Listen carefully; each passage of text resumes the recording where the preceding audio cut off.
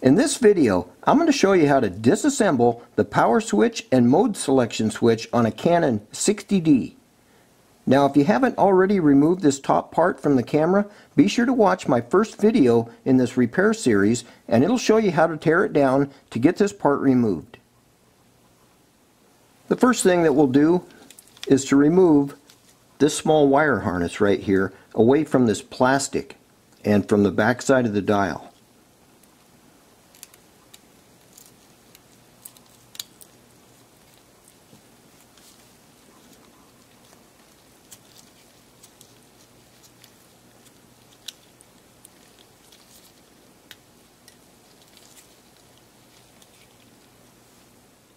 The first part that we'll take out is this screw right here. Now it holds this piece of metal on that has all these notches in it. Now the notches line up with this ball bearing here that has pressure on it from this spring right here. What that does is that keeps the dial in the position that you're selecting. So two things are going to happen when I take this screw out. First, the ball bearing is going to want to roll out, and second, the actual switch, the dial back here, is going to want to drop away. So you want to just make sure and hold your finger on the switch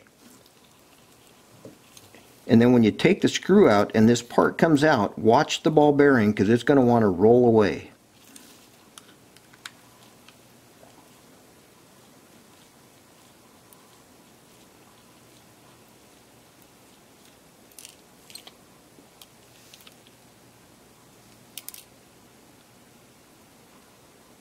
Now you can see the back side of this dial, this piece of metal that has the notches on it, actually has a set of contacts too.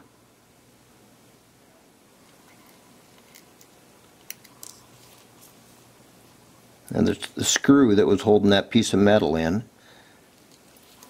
And here's the ball bearing. And we'll also take this spring out right here. There you go.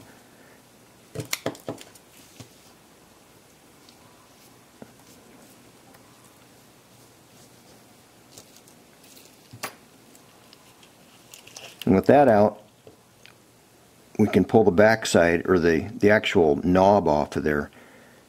And you can see there's a spring that's on that side too. Now we'll remove this screw right here which holds this set of contacts on. That actually is also holding the main power switch knob. So when we take that screw out, this is going to come out also. Be sure to hold your finger on the back side to support it while you're pushing down on the screw.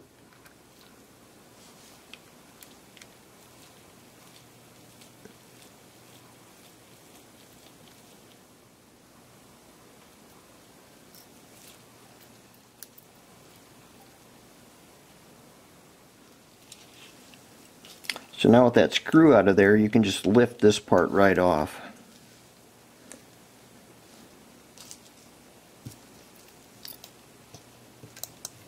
And you can also pull this out. This is just a spring that keeps the uh, main power switch in the correct position after you move it. That's the click that you feel. See, without it, it just turns real easy. Okay, that's all the pieces to the mode selection switch and the power switch. The only other part is this contact set right here, but I'm not taking that off. Now if you're having problems with your power switch and or your mode switch, the thing you're going to have to check for is corrosion on this set of contacts right here. Use some cleaner and clean that up if there is corrosion on it. The other places that you need to check are the set of contacts that ride on top of it. Make sure these are clean also. This one is for the mode selection here. And this one is for the power. So just make sure that all these little contacts are clean. So to put it back together, the first thing that we'll put back in is the last piece that we took out. This spring that is used for keeping the power switch in its whatever position you have it in. Just lay it in there, line up one of the sides here, and then you'll have to put pressure on the other side and bend it up a little bit until it falls in there.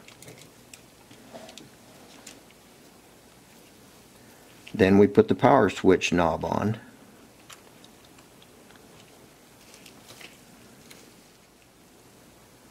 Okay, now we'll put the brush or the contact that goes on the back side of this power switch and we'll mount it back up on top. There's a set of little notches in here and some bumps on the plastic piece so that you can line it up before you put the screw in.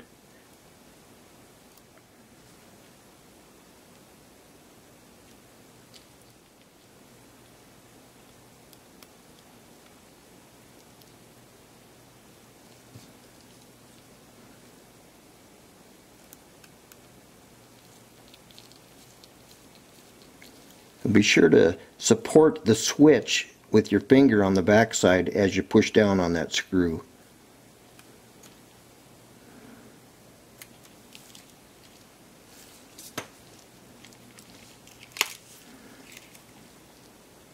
Then test it.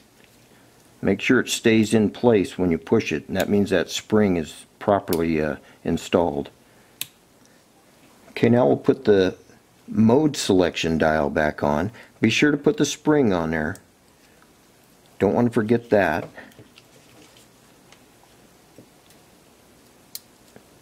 Now just lightly push down on it as you turn it and you'll feel it snap into place. And then hold pressure on it. Okay, the next piece that we're going to put on is this piece of metal that has the, the little notches in it. But something that's uh, you need to see first is on this side right here, there's actually a small notch. It's only on one side of this hole, right? It's on this one, it's right here. Okay, that notch is going to need to line up with this little bump right here. So when you put that on, make sure that that's closely lined up.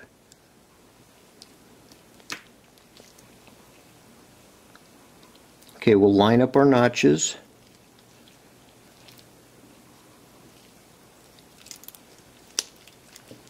And remember, I'm also putting pressure on the back side with this finger. So otherwise that, that knob is going to want to come back out. But just line them up. Now it's gonna it's not gonna stay on there real good until you get the screw in there, but just keep it generally lined up on those notches.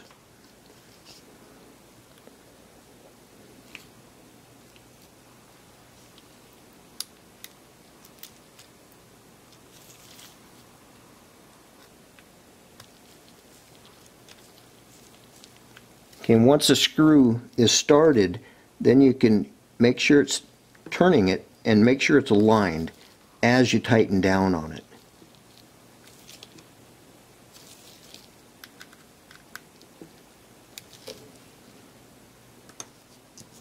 Alright, this part is going to be the fun part, and that's going to be getting the spring and the ball bearing back inside here. Now the way I've been doing it is I back these two screws back about a turn and a half. One there and then this one right here. And that allows this plastic piece to lift up just slightly.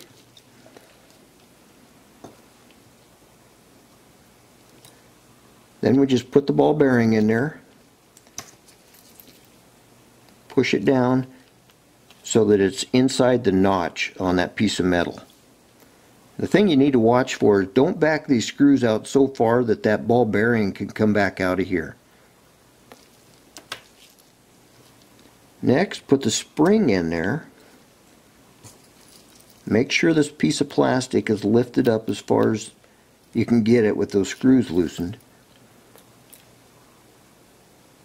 And then the screwdriver not on the end of the spring, but like in the first notch below the end. And kind of angle it towards the ball bearing. And then push down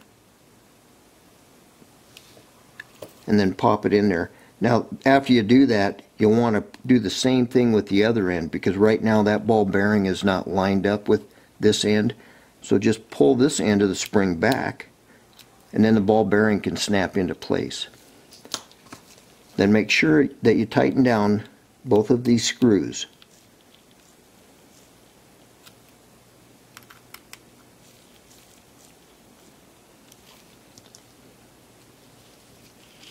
And make sure that you test it. And make sure and double check that this white notch lines up with the, the right indicator. So that's as far as it goes that way. And we turn it this way.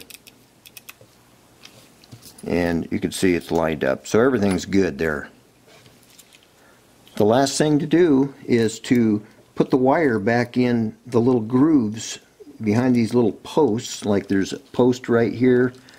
And then it goes behind this piece right here, up and over, down through this notch, and then back up and it comes on this side of that little piece of plastic right there.